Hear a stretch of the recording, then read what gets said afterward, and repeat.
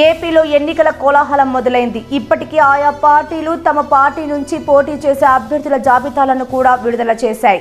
ఈ క్రమంలోనే మావోయిస్టు కీలక నేత గణేష్ ఏపీలోని రాజకీయాలపై స్పందిస్తూ లేఖాస్త్రాన్ని సంధించారు. ముఖ్యంగా సినీ హీరో పవన్ కళ్యాణ్ స్థాపించిన జనసేనపై తీవ్ర విమర్శలు గుప్పించారు. పార్టీ స్థాపించిన నాడు తమ పార్టీ కమ్యూనిస్టు భావాచాలం గల పార్టీ అంటూ పవన్ చెప్పుకొచ్చాడని అన్నారు.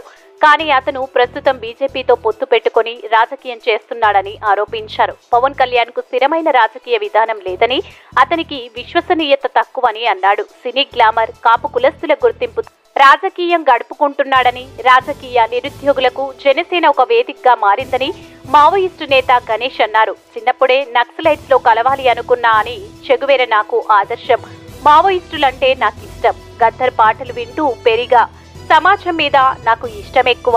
ఎన్నోసార్లు అడవుల్లోకి వెళ్ళి తుపాకీ పట్టుకుందాం అనుకున్నా అంటూ తను అరవీర భయంకర లిఫ్టిస్ట్ అని ఎప్పటికప్పుడు బిల్డప్ ఇచ్చి కమ్యూనిస్టులతో కూడా పొత్తు పెట్టుకున్న చరిత్ర ఉన్న పవంది అని వాస్తవ స్వరూపం దానికి పూర్తిగా విరుద్ధంగా ఉంటాయని ఆయన చర్యలు ఉంటాయని మావోయిస్టులు ఆరోపిస్తున్నారు. తనకు నక్సలైట్ భావాజాలం మీద గాని లిప్టెస్ట్ ఐడియాలజీపై గాని ఎటువంటి అవగాహన లేదని ఎప్పటికప్పుడు తేటతెల్లం అవుతూనే ఉంటుందని తాజాగా మావోయిస్టు గణేష్ బహిరంగ లేఖ దాన్ని మరోసారి నిరూపించింది.